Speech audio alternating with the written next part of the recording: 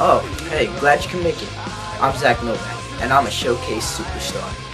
And you know, two things are coming up on May 5th. Two of my favorite things. It's coming up pretty quick. One thing is, it's free comic book day, and everybody knows I love comic books. Another is, it's One Wild Night 2.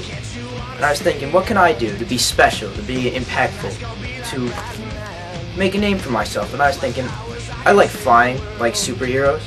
So, why not go back to a ladder match? But this time it's going to be big, the biggest ladder match. It's going to be a six-man ladder match. And the winner of that gets a title shot anytime in 2007. Now that, that would be impactful.